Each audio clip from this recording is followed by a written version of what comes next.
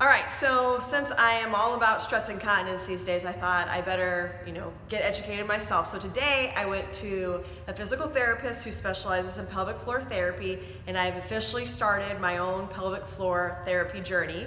So I'm going to videotape it, so if you guys have any questions, you can ask me what it's like. So real quick, what I did today, I went in, met with her, she got my medical history, asked me, you know, when do you leak, what activities are causing it, what do you do, that type of thing.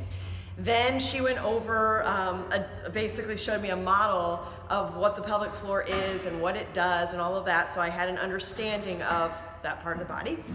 And then she did an exam. So when she did the exam on me, she had me basically do some Kegels so she could feel um, what is happening with my muscles at that point. So what I was diagnosed with today was one, I do have a weak pelvic floor, and two, I don't um, relax my pelvic floor either. So I've got a combination of things happening. So um, her goal is to get me um, on a plan that works for me so I don't have to come back and see her. So we're on um, a four to six uh, week right now that I'll be doing some different exercises. I'll tell you what all those exercises are as I go on.